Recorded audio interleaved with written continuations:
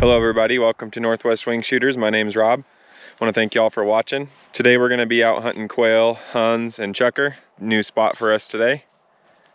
Coop's ready to go. Hope you guys like the video. If you do, please like and subscribe. Um, I really appreciate that. Uh, thanks for watching again, and uh, we'll see you in a bit.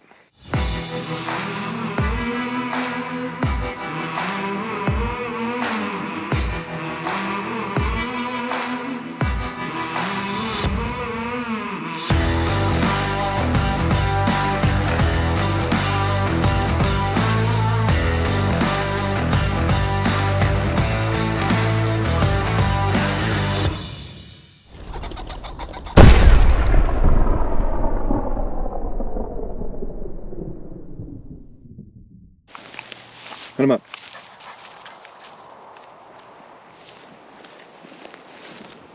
Figure out how to get across this ditch. There's water in it. Just a little bit. That's good.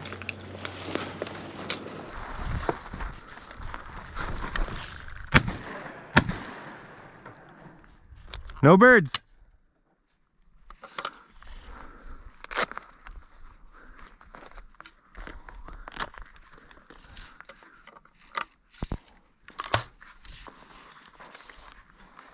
Kind of bumped those quail were just sitting down here in this draw.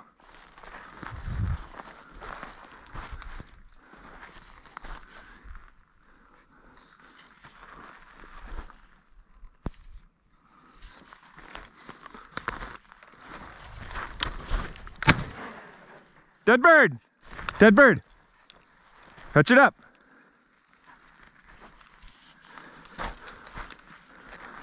Good boy, dead bird. Find it. No, come on, dead bird. He didn't mark it. Dead bird. Come on, fetch it up. Let's go. Dead bird. Good boy, dead bird. He doesn't have the best nose for these quail. Of course, good boy, dead. Hunt dead. Dead bird. Fetch it up. He smells it now. Good boy. Good boy. Bring it here. Here. Bring it here. Good boy. All right, guys. Well, that didn't take long. Nice uh, male California quail.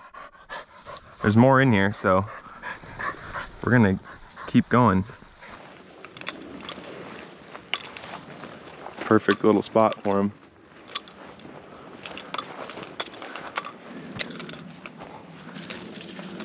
Yeah, this is definitely where they were hanging out.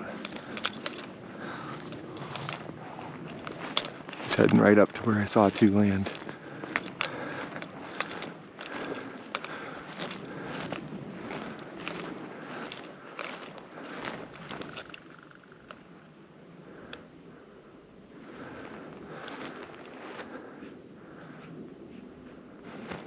Flush that one.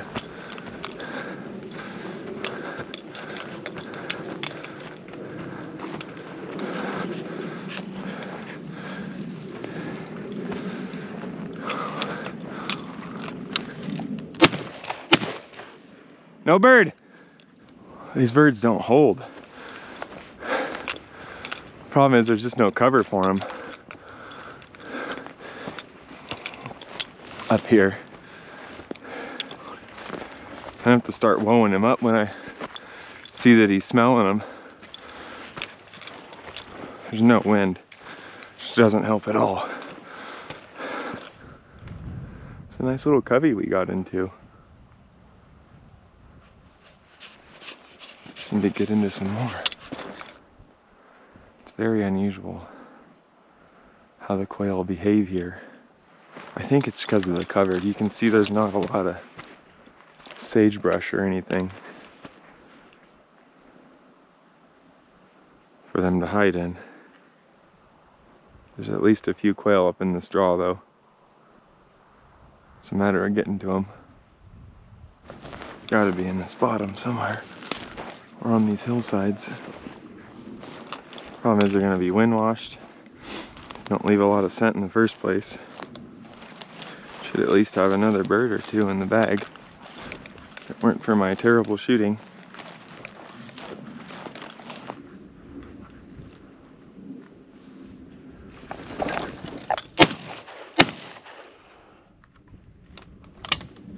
No bird. Scared the piss out of me. I'm gonna run out of shells for this endeavor. I really need to practice. Oh my god, this draw looks like the dream. This be quail heaven?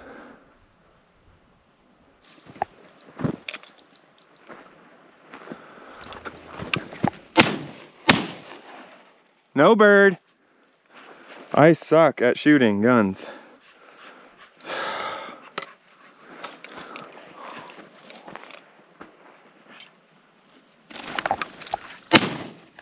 Good boy.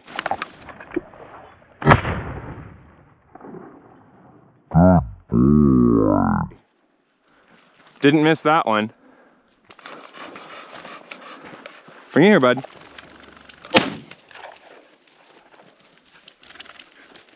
Dead bird, get it.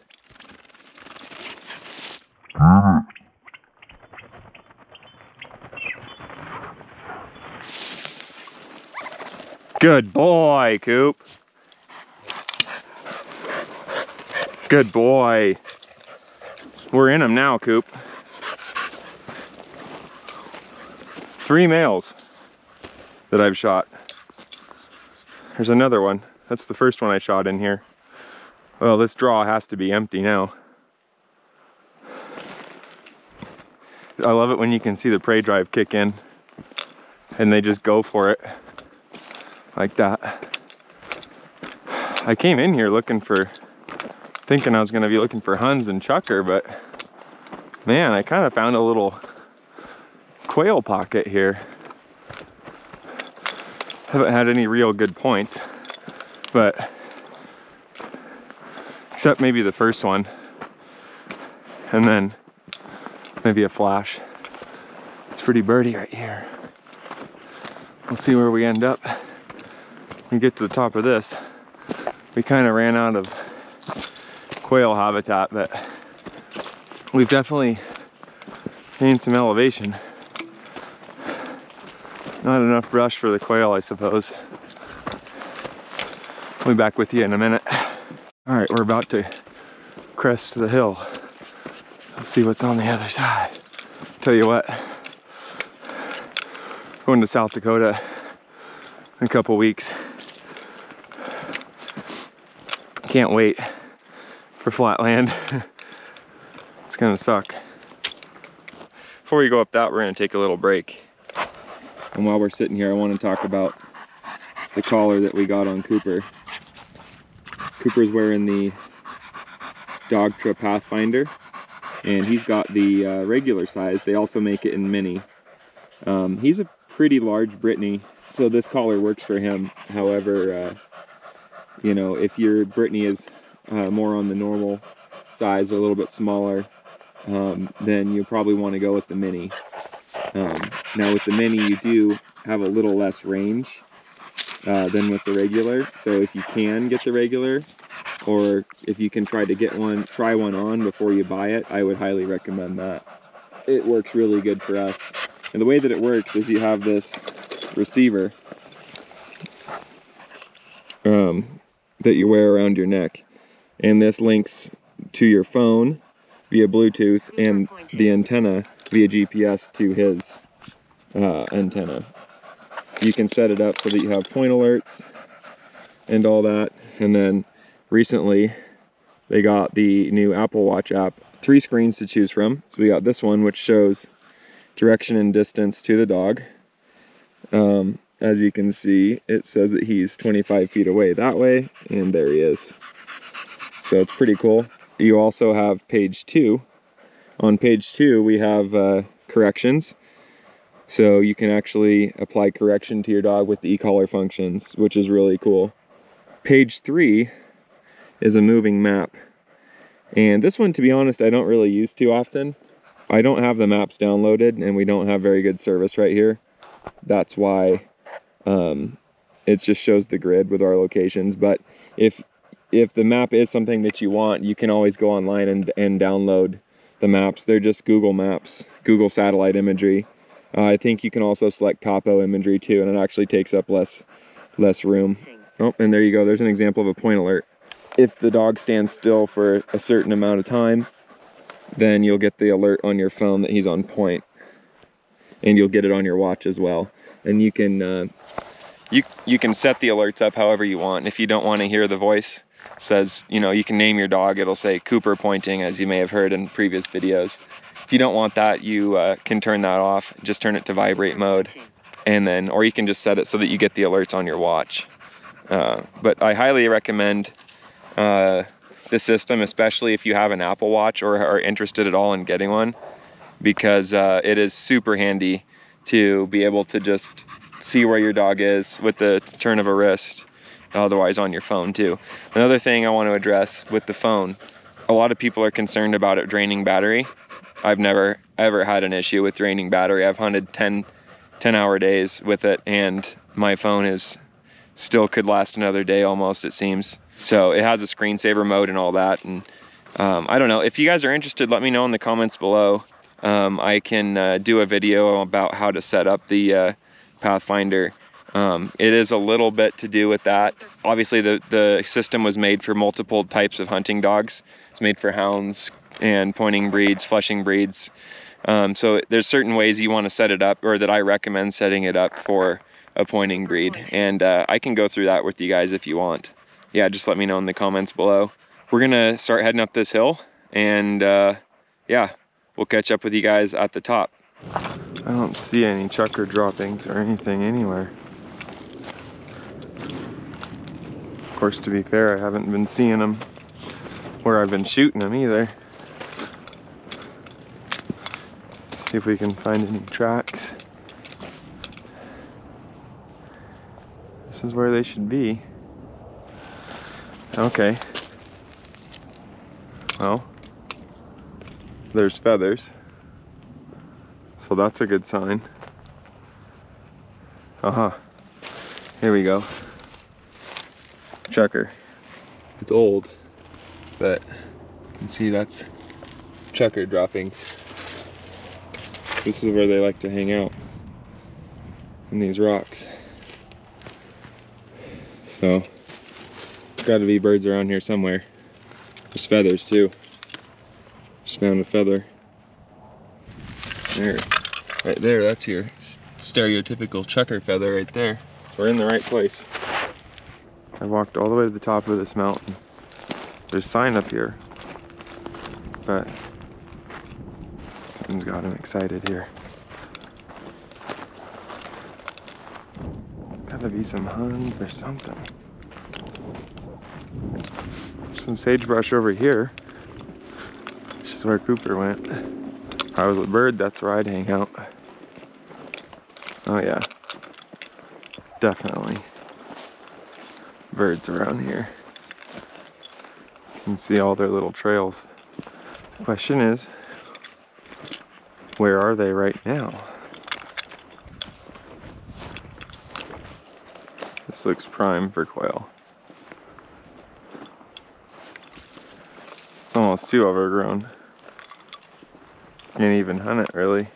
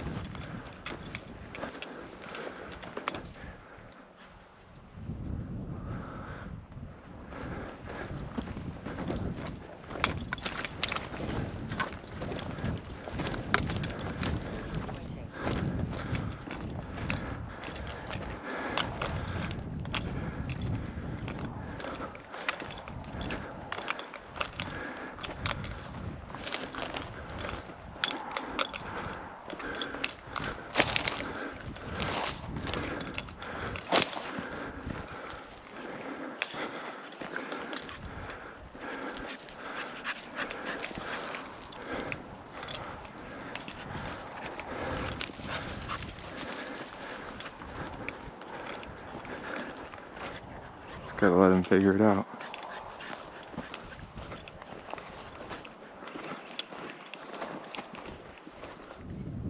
Suppose they gave us the slip?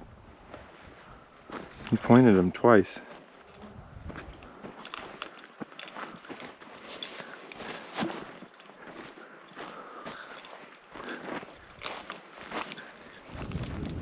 Alright, well we've made a big circle. Now this is the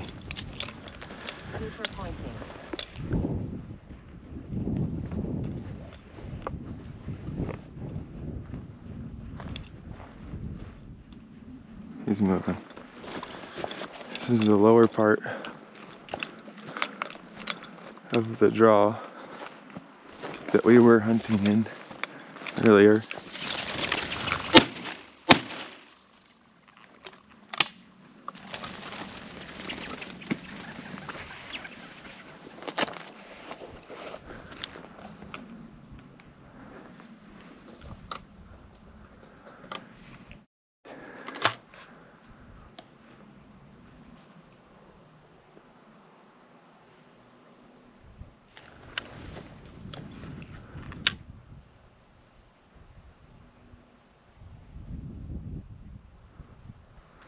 Was a big covey. I don't know if I should go after him or. I know one went this way. That's probably. I thought Cooper was in there for a second. But it was the birds fluffing around. All right, everybody. Well, I hope you enjoyed that hunt out here. We got into a couple uh, really good sized coveys of quail. Um, unfortunately, I wasn't able to shoot any out of the second one, but uh, definitely a spot I'd like to come back to and see if I can find those birds again, because there's a lot of quail in here.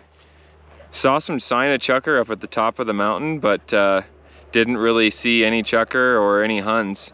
Uh, it looks like maybe this burned a few years back. I'll have to look on uh, online and see when the last time this burned is. Maybe there's just not enough food and cover for them anymore. Um, but yeah, it's good for quail, that's for sure. So Coop and I are just taking it easy here. Coop.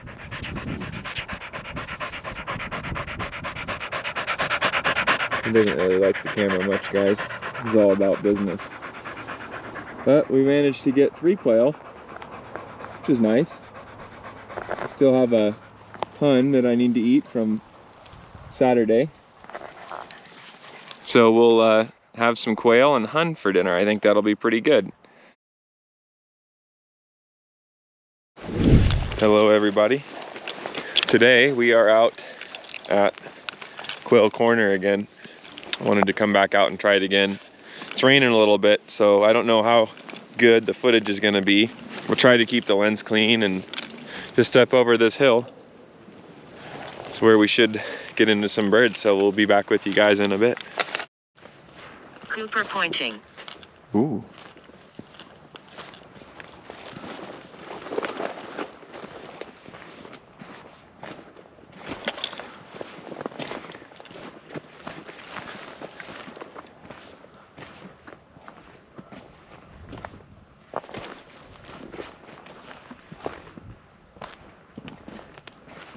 Cooper's thinking there's birds in here. Oh yeah, there is.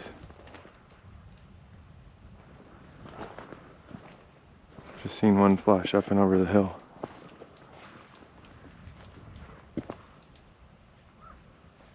Unless he bumped a covey. I don't know what happened here because all I saw was the one bird go.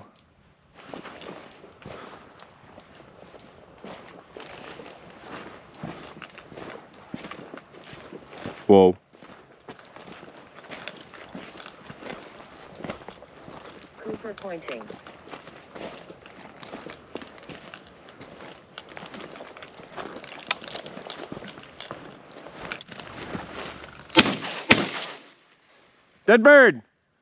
Good boy. Seen it go down in that bush over there. Coop. Hey. He didn't mark it. Come on, dead bird. Let's go. Good boy. Find it. Good boy, dead bird. I think it went down right here. Good boy. Find it. Good boy. Dead bird.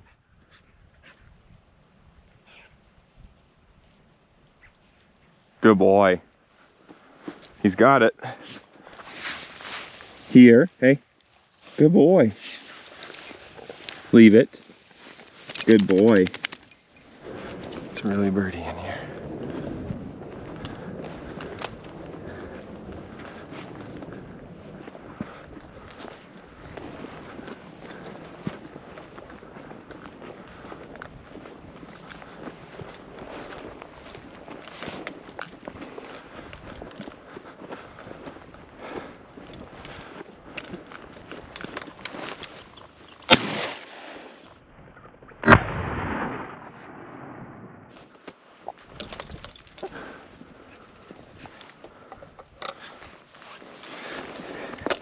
Good boy. Here. Good boy. Good boy, bud. That was interesting shot. Thing was coming right at me. He was working it up this draw and it just flushed straight towards me because I was being quiet. Hopefully there's something left of that one. He didn't point it, but he worked it at least first I thought it was flying away from me, but then it just started getting bigger and bigger and I was like, well, shit, I guess I better shoot. Must be another straggler from that covey we broke up earlier. All right, everybody. Well, uh, I think that's a wrap on the hunt today. Managed to scratch out a couple quail from uh, Quail Corner again. Coop, we have fun, bud? Wag your nub if you had fun. There we go. There's the wag. Good boy. Good boy. My shooting was a little better today. I hit two of the two birds that I shot at, so that's a plus. I hope you guys enjoyed this two-part video. The next video is gonna be out in South Dakota. That's right, we're going to South Dakota and we're gonna try to get some roosters. I'd really like to bag a prairie chicken or a sharp tail or both. Taking my dad along, so uh, drop a thumbs up if you like the videos uh, with me and my dad. And uh, also, Mike's gonna be out there too, Mike and Luna, so, um, and his dad. So that'll be the first time you guys see them this year. Anyway, if you did like the video, please like and subscribe so you can uh, see more awesome wing shooting content like this. Uh, but for now, Coop and I are out.